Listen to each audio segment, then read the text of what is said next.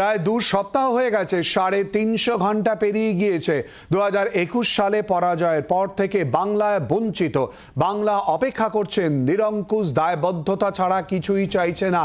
BJP এখনও আবাস এবং একশো দিনে কাজ নিয়ে শ্বেতপত্র প্রকাশের চ্যালেঞ্জ গ্রহণে এগিয়ে এলো না বলে এক্স হ্যান্ডেলে ইতিমধ্যেই তোপ দেখেছেন অভিষেক বন্দ্যোপাধ্যায়।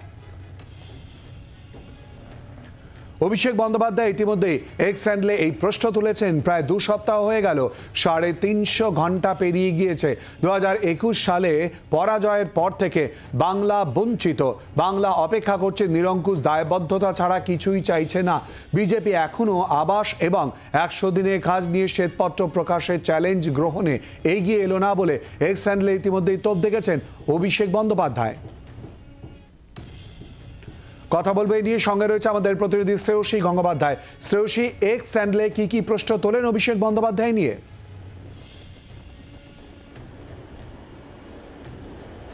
শ্রেয়সী, অভিষেক বন্দ্যোপাধ্যায় এক্স স্যান্ডলে ঠিক কি উল্লেখ করেন? দেখো, তোমাকে যেটা জানিয়ে রাখি যে এক্ষেত্রে যে পোস্ট, সোশ্যাল মিডিয়া যে পোস্ট করেছেন অভিষেক বন্দ্যোপাধ্যায়, সেখানে তিনি স্পষ্ট বলছেন যে তিনি যে চ্যালেঞ্জ দিয়েছিলেন, অর্থাৎ শ্বেতপত্র প্রকাশের যে চ্যালেঞ্জ দিয়েছিলেন, সেই চ্যালেঞ্জের পরিপ্রেক্ষিতে কিন্তু তিনশো পঞ্চাশ ঘণ্টা অভিষেক বন্দ্যোপাধ্যায় তিনি দাবি করেছেন যে এক্ষেত্রে একুশের নির্বাচনে হারার পরে আবাস এবং একশো দিনের কাজে এরা যে এক পয়সাও দেয়নি। এবং সেই বিষয়টা নিয়ে তিনি বলেছিলেন যে তিনি বিভিন্ন সময় এবং জায়গার নাম সেখানে এসে প্রমাণ করুক যে তিনি মিথ্যে বলছেন কিংবা সরাসরি মুখোমুখি তিনি বিজেপির যে কোনো কার্যকর্তার সঙ্গে বসতে চান। এখন সেই জায়গা থেকে দাঁড়িয়েই কিন্তু কার্যত কি বলছেন যে তিনশো পঞ্চাশ ঘণ্টা হয়ে গেছে, কিন্তু এখনও পর্যন্ত বিজেপি এই না বসেছে সেখানে কোনো আলোচনায় বা মুখোমুখি সেই চ্যালেঞ্জে তারা চ্যালেঞ্জ গ্রহণ করেনি, এমনকি তারা কোনো শ্বেতপত্র প্রকাশ সেই জায়গা থেকে তিনি বলছেন যে এক্ষেত্রে বাংলার মানুষ, তারা কিন্তু যেটা চায় একেবারেই অ্যাকাউন্টেবিলিটি অর্থাৎ একটা কর্তব্যবোধ এবং দায়বদ্ধতা চায়। যেখানে আমরা দেখেছিলাম যে বারে বারে প্রচারে তৃণমূল কংগ্রেস যে বিষয়টা বারে বারে আনছে যে মোদির গ্যারান্টি না দিদির ওয়ারেন্টি অর্থাৎ সেই জায়গা থেকে দাঁড়িয়ে কিন্তু কার্যত অভিষেক বন্দ্যোপাধ্যায়ের যে পোস্ট সেই পোস্টেও কিন্তু কার্যত সেই একই প্রসঙ্গ তিনি টানলেন, যেখানে তিনি বলছেন যে বাংলার মানুষ দায়বদ্ধতা চায় অর্থাৎ বাংলার মানুষ সেই দায়বদ্ধতার বিষয়টাই কিন্তু কার্যত তিনি উল্লেখ করলেন তার এই সোশ্যাল মিডিয়া পোস্টে শ্রেয়সী, আমাদের সঙ্গে থাকো। ইতিমধ্যে এক্স হ্যান্ডলে এই তোপ দেখেছেন অভিষেক বন্দ্যোপাধ্যায়। প্রায় দু সপ্তাহ হয়ে গেছে, সাড়ে তিনশো ঘণ্টা পেরিয়ে গিয়েছে। দু একুশ সালে পরাজয়ের পর থেকে বাংলা বঞ্চিত। বাংলা অপেক্ষা করছে নিরঙ্কুশ দায়বদ্ধতা ছাড়া কিছুই চাইছে না। বিজেপি এখনও পর্যন্ত আবাস এবং একশো দিনে কাজ নিয়ে শ্বেতপত্র প্রকাশের চ্যালেঞ্জ গ্রহণে এগিয়ে এলো। না বলে এক্স হ্যান্ডলে ইতিমধ্যেই তোপ দেখেছেন অভিষেক বন্দ্যোপাধ্যায়।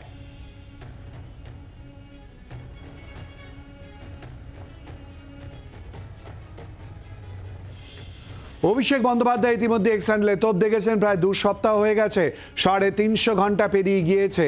দু হাজার একুশ সালে পরাজয়ের পর থেকে বাংলা বঞ্চিত, বাংলা অপেক্ষা করছে নিরঙ্কুশ দায়বদ্ধতা ছাড়া কিছুই চাইছে না। বিজেপি এখনও পর্যন্ত আবাস এবং একশো দিনের কাজ নিয়ে শ্বেতপত্র প্রকাশে চ্যালেঞ্জ গ্রহণে এগিয়ে এলো। না বলে এক্স হ্যান্ডলে তোপ দেখেছেন অভিষেক বন্দ্যোপাধ্যায়।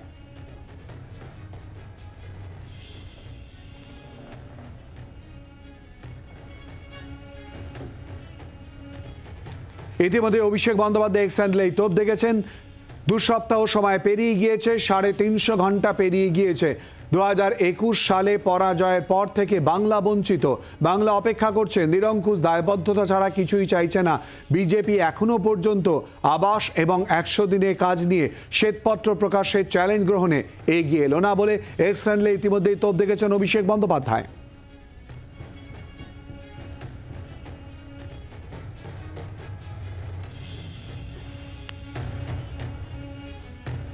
এক্স হ্যান্ডলে অভিষেক বন্দ্যোপাধ্যায়। তো দু সপ্তাহ হয়ে গেছে, কিন্তু তাও কেউ কেন জবাব দিচ্ছে না? এই নিয়ে ইতিমধ্যেই তোপ দেখেছেন অভিষেক বন্দ্যোপাধ্যায়। সাড়ে তিনশো ঘণ্টা পেরিয়ে গিয়েছে।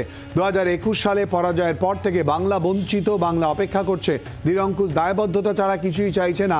বিজেপি এখনও আবাস এবং একশো দিনের কাজ নিয়ে শ্বেতপত্র প্রকাশের চ্যালেঞ্জ গ্রহণে এগিয়ে এলো না বলে এক্স হ্যান্ডলে তোপ দেখেছেন অভিষেক বন্দ্যোপাধ্যায়।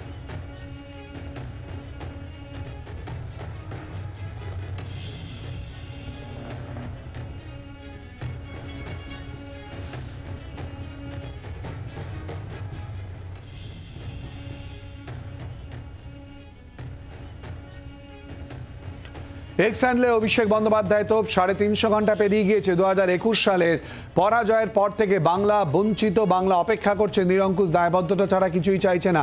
বিজেপি এখনও পর্যন্ত আবাস এবং একশো দিনের কাজ নিয়ে শ্বেতপত্র প্রকাশের চ্যালেঞ্জ গ্রহণে এগিয়ে এলো না বলে এক্স হ্যান্ডলে তোপ অভিষেক বন্দ্যোপাধ্যায়ের। এই মুহূর্তে আমাদের সঙ্গে টেলিফোন লাইনে রয়েছেন বিজেপি নেতা রাহুল সিনহা। রাহুল দা, এক্স হ্যান্ডলে অভিষেক বন্দ্যোপাধ্যায় উল্লেখ করেছেন, বিজেপি এখনও পর্যন্ত আবাস এবং একশো দিনে কাজ নিয়ে শ্বেতপত্র প্রকাশের চ্যালেঞ্জ গ্রহণে এগিয়ে এলো না বলে উল্লেখ করেছেন। দু সপ্তাহ পেরিয়ে গিয়েছে, সাড়ে তিনশো ঘণ্টা পেরিয়ে গেছে তাও কেন চ্যালেঞ্জ গ্রহণ না কি বলবেন আপনি?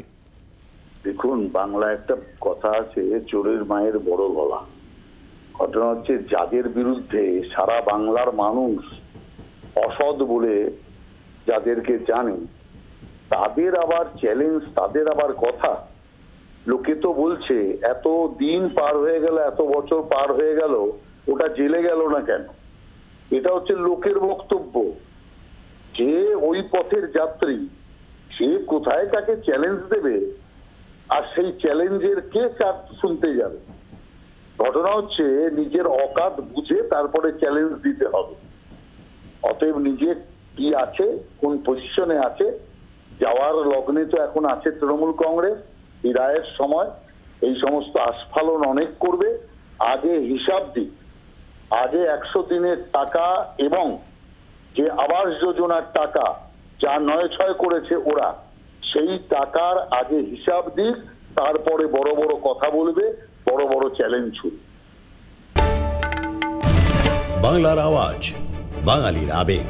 जी चौबीस घंटा।